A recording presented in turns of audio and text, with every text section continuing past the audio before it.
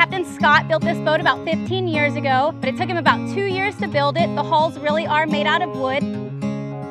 Captain Billy and I are fully capable of handling the boat ourselves, but we love help. So if anybody would like to come back there and get your picture steering the boat, feel free to make your way back there. We do have a, a tradition on the sailboat, so just before the sun touches land, we're gonna bring out a conch shell. Uh, we're gonna blow the conch. Uh, we're all gonna applaud, thank God for a wonderful day, and hope that we're all around to watch you come back up in the morning. So with that, let's go sailing.